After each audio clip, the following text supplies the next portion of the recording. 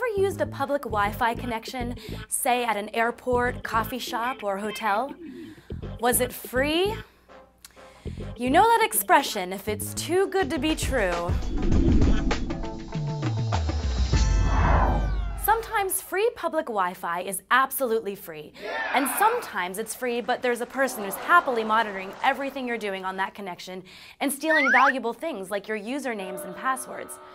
Unfortunately, there's no great way to tell if it's really Oh, free no. or free as long as you don't mind a hacker stealing your usernames and passwords and then using them to say transfer money out of your bank account. So be careful using public Wi-Fi. If you need to oh, check sports scores or find a restaurant review, that's probably less of a risk than checking your bank account or doing some online shopping.